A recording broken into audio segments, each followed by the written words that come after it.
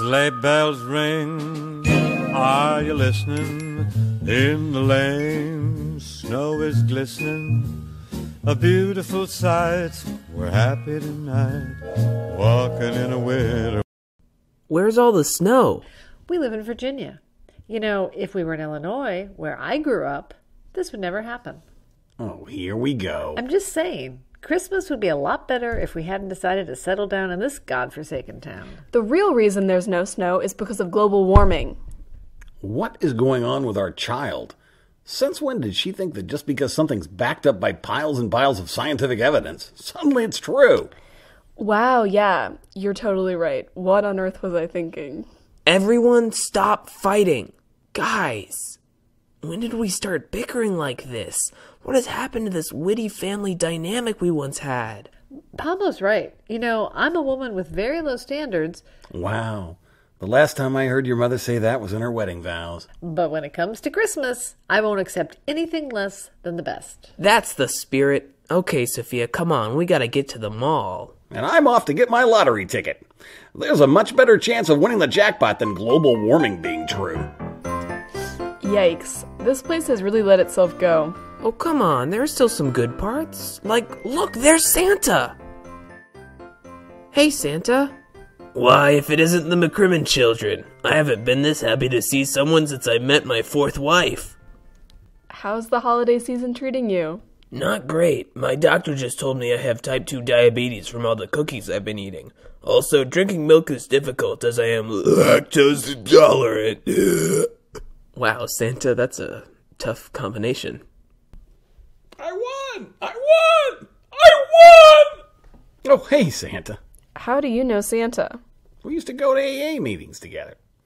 But that's not even important. What's important is that I won! What'd you win, Father Gomi? The lottery. I won a thousand dollars. I told you global warming was a hoax. Now just think of all the things we can buy for ourselves. That doesn't seem like it fits very well with the Christmas spirit. It's all about giving, not getting. Well, actually, Pablo, that's not quite right. Back when I first wrote the unwritten rules of Christmas, I defined it as all about getting. See? Well, in that case, it's time to get spendin'.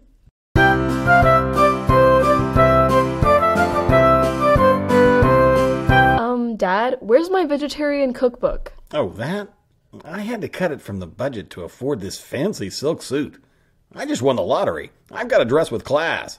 In addition, to celebrate, I bought the most expensive cigar in the world. I thought you didn't smoke anymore. Oh, I don't. This is just for the aesthetic effect. Well, this is the perfect Christmas. Wait, what did you say that suit was made out of? Silk? Isn't silk highly flammable? Of course not.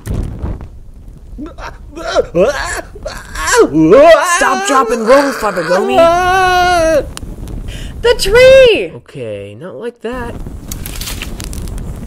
The house is on fire! Everyone out!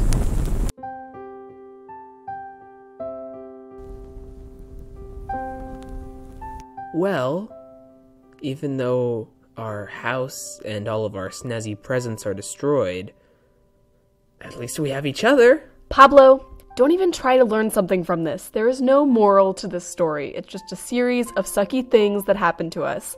And I've got news for you. Father Gomi's pal, Santa Claus, is just a drunk in a silly red suit. Sophia?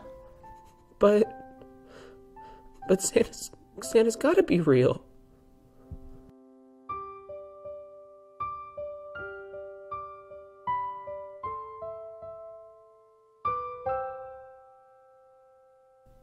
Merry Christmas, McCrimmons.